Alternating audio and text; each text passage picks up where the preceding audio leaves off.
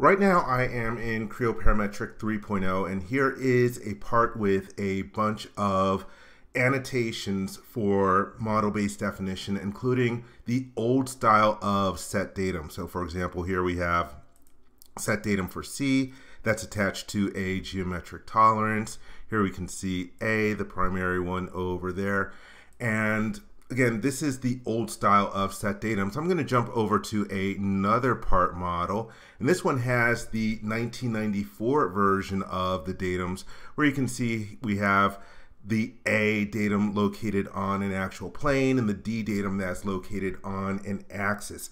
The newest versions of ASME Y14.5 now require that the datums be located on actual geometry. They can't be on these imaginary planes or imaginary axes. And so I'm going to show you how you can convert these kinds of datums in Creo Parametric 5.0. So let me go and minimize these and go to Creo Parametric 5.0, which I also have open at the same time. And so I'm going to open up one of those parts. Let's start with the one with the set datums. And as soon as I do that, you see I get this message that I have to convert the datums from the old style to the new style. And that message window goes away pretty quickly. Uh, the reason for having the new style set datums is that they conform to the 2009 standard. And also there is a step AP242 format, which also requires uh, semantic references. In other words, I pick a surface and it should highlight the different dimensions or annotations associated with them, and vice versa. If I pick a datum or a geometric tolerance, it should highlight the reference geometry for me. So anyhow, to convert this model, I will go to the Annotate tab and then the Annotations dropdown. And here we have this command for Legacy Datum Annotations Conversion. And so I will click on that and it lists three of the different datum tags over here and it tells me that set datum tag annotations were found. You may convert them to DFS datum feature symbols by using the convert all to DFS command or continue working without the conversion. So again, you don't have to convert, but if you're doing any new work, you really should convert them. So let's click convert all to DFS. And now they turn green, which means that everything is good. There is a save results button. This is just going to output a text file with the results of the conversion. It's not actually going to save the model. So that's good. I will click close. And here I get this message that to maintain the associativity between the converted annotations and the unconverted GTOLs referencing them, you must convert the unconverted GTOLs, right click on them and execute the command. So let's click OK out of there. And so if I go over here, let's turn on the magnifier. Uh, you can see that there's a little symbol next to some of these driving dimensions in the model. I can't remember right. Yeah, and some of the geometric tolerances as well. Uh, so if you want to convert one of them, you can right click on it and choose convert. There it highlighted on the screen. It no longer has that symbol next to it. Or you could right click on them and then choose convert all. And here it's noting, oh, there's some issue with that geometric tolerance that I could go and fix, but I'm not going to do that at the moment. All right, let's take a look at the model with the really old 1994 stuff. And let's open up this part. And again, it's uh, found that there are some of the old ones, and it's recommending that I convert them, and it tells me that I can go to annotate and then annotations. Oh yeah, before I execute this, I just want to mention that this conversion tool became available in Creo Parametric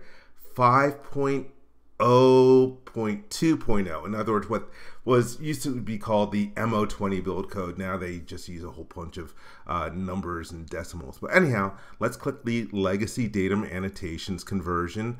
And so it says, hey, you know, you've got this A datum and this D datum over here and you really should fix them.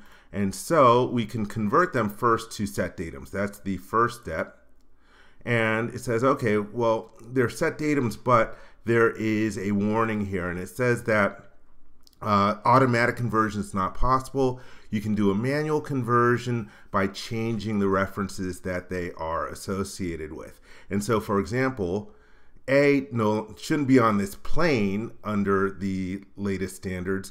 Uh, it should be attached to actual geometry like a surface. So I'm going to choose change reference and I'm going to attach it to the surface and I'm just oops using the middle mouse button to drag out and then middle mouse button, or excuse me, I was left dragging to move it and then middle mouse button to locate it.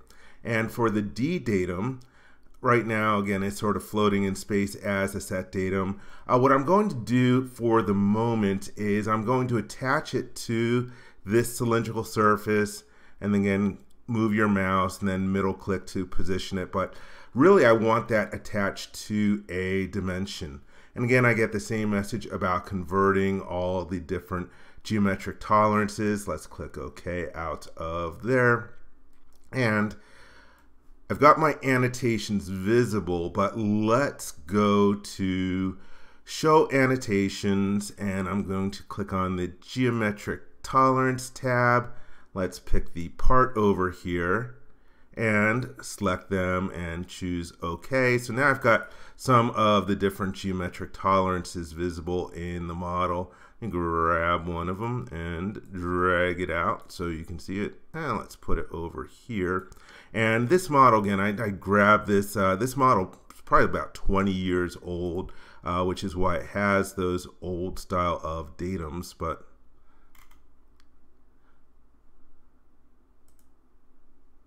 Uh, it's not let me drag it, but anyhow, I don't need that one. But uh, really what I want to do is I want to have this D datum either attached to the dimension or to this geometric tolerance over here. And I noted that this is a concentricity geometric tolerance. And so really this D datum, I want it attached to the dimension. The geometric tolerance for concentricity actually went away in the 2018 standard, which was released in January of 2019.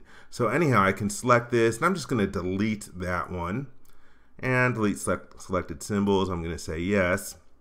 And then I can click on the D reference and I'm going to change the reference and then pick the dimension over here.